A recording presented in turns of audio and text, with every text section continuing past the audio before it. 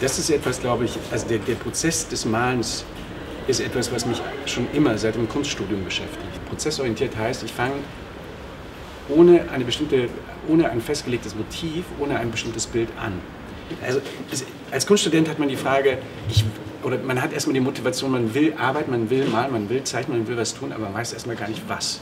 Und irgendwann kapiert man, okay, da gibt es irgendwas, was mich beschäftigt. Also wenn man einen guten Lehrer hat oder vielleicht kommt man selber drauf. Ähm, und ich kam an die Kunsthochschule und habe so prozessorientierte Bilder gemalt, die vergleichbar sind heute mit in Formel und mit dem Interesse. Und je mehr ich kennengelernt habe, diese Bilder und auch alle schon gemalt worden sind und auch wahnsinnig dolle Bilder gemalt worden sind, irgendwann bin ich drauf gekommen, da, da muss für mich etwas entstehen, was noch reduzierter ist.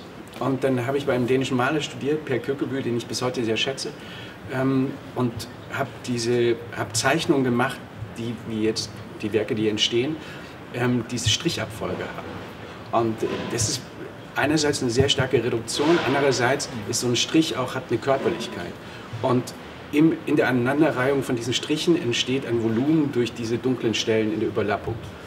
Und Formate oder Formatgrößen, in denen ich gerade arbeite, sind so diese 210 x 290 und ähm, das ist ein, ein, ein Format von einem Tryptychon. Mhm. Ähm, an, also angelehnt, mhm. aber eben nicht in diesem klassischen, dass der Hauptteil, der Mittelteil der größte ist, sondern ich, gleich zu behandeln. Also alle, ich versuche alle drei Bilder gleich zu behandeln. Was entstehen wird, da bin ich sehr drauf gespannt, weil also ich habe beispielsweise mal, wie ich vorhin erzählt habe, diese Art von Zeichnung mal in Schwarz in einer Galerie gezeigt, wo ich fünf schwarze Arbeiten nebeneinander von Weitem sehen die total gleich aus. Und wenn man nahe hingeht, sieht man diese Differenzen. Und jetzt bin ich sehr gespannt, wie das wirkt auf der Leinwand, weil das habe ich als solches noch nie gemacht.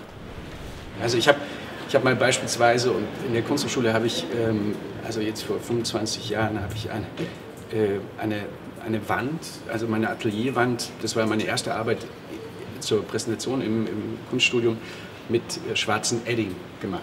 Also das hat über drei Monate oder vier Monate diese Arbeit gedauert. Also das, was dort so sehr einfach aussieht, hat ein hohes Grad, mhm. Grad an, an, gibt ein hohes Maß an Konzentration. Mhm. Und wie ich schon gesagt habe, ich ziehe da keine Linien, also diese Art von Volumen, also das, was dort entsteht in so einer bestimmten Art von Struktur, Struktur hat eine Richtung. Ähm, wenn, wenn der Strich zu genau ist, zu präzise, verliert er an, an Organik. Ähm, wenn er zu organisch ist, bekommt es zu viel Rhythmus und es funktioniert nicht mehr im, also im Bild. Mhm. Das Umgang auch mit, dem, mit, der Begrifflichkeit Genauigkeit. Also wie genau muss, müssen die Striche äh, formuliert sein und wie formuliert sich dann auch, weil es ist eben nicht nur auf der Leinwand, nicht nur auf der Leinwand, sondern im Raum auch eine Fortführung. Mhm.